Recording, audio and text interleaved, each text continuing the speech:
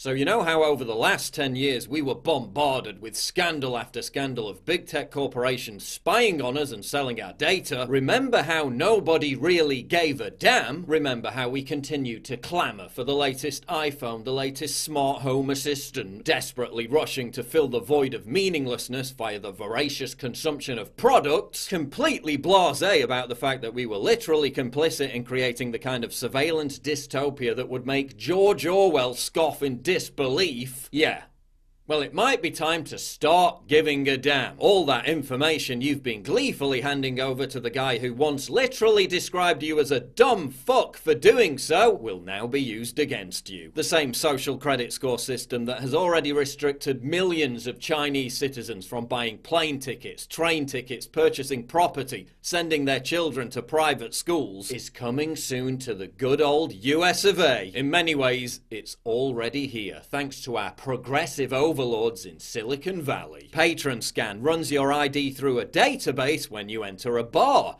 If the system decides you've been a naughty boy or girl, you're not getting in the bar. Insurance companies in New York are now basing premiums on social media posts. That Instagram selfie of you eating a bucket of cheese fries might end up costing you big time. Major fundraising sites are kicking off creators for their wrong think. Uber has banned conservatives for their offensive tweets. Airbnb has refused service to people for their online activity. Conservatives are being banned from entering entire countries because of their views. PayPal, which is taking over numerous credit card processing companies, bans people for their political opinions. They just banned Trump supporter and Floridian Jacob Engels right as Hurricane Dorian made landfall. Very pleasant people. Major banks are terminating customer accounts because of their political opinions. Imagine going to buy groceries and your card gets declined because some chicken neck in Silicon Valley didn't like what you posted on Twitter about Alexandria Ocasio-Cortez. No food for you. In China, citizens with low social credit scores are restricted from using dating websites. Now, Facebook, as if it wasn't already a frighteningly gargantuan monopoly, just launched its own dating service, turning over private, intimate relationship information to a faceless, amoral corporation that spies on you, sells your data, and can arbitrarily ban you for expressing the wrong opinion.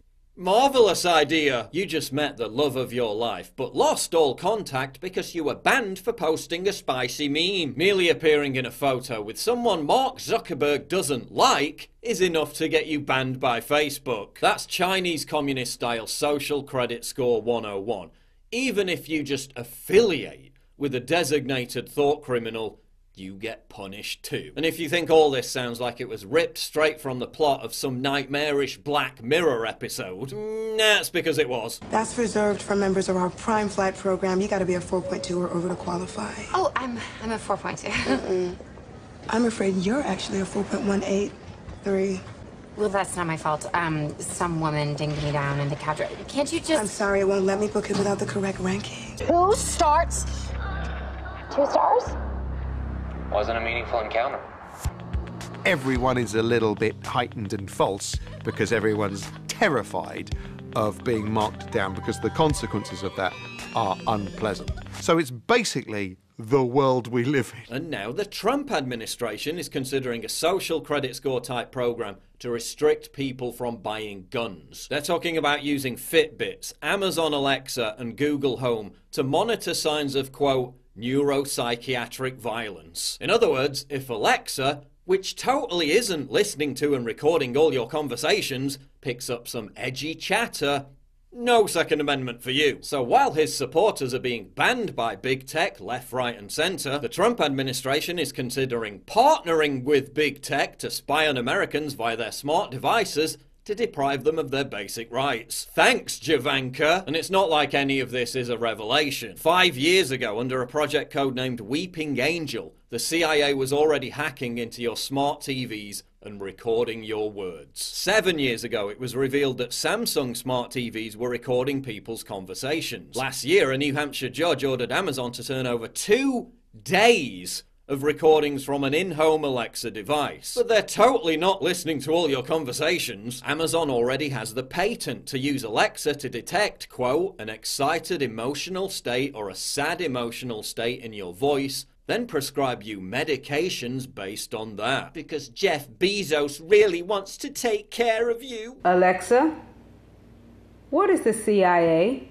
The United States Central Intelligence Agency, CIA. Alexa, are you connected to the CIA? Alexa, are you connected to the CIA? I warned that all this was coming 13 years ago. And they called me a conspiracy theorist. Dissidents will be stripped of basic life amenities, deprived of the right to commerce, imprisoned in a vast digital gulag, dehumanized, rendered destitute. Brave protesters in Hong Kong are literally ripping down surveillance cameras to express their opposition to all this. What are we doing?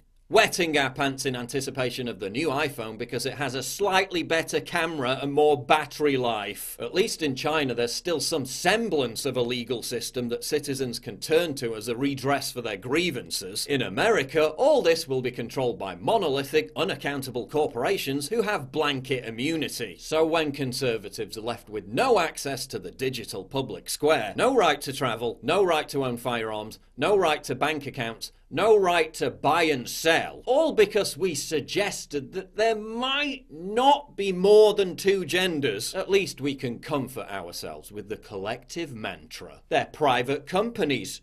They can do what they like.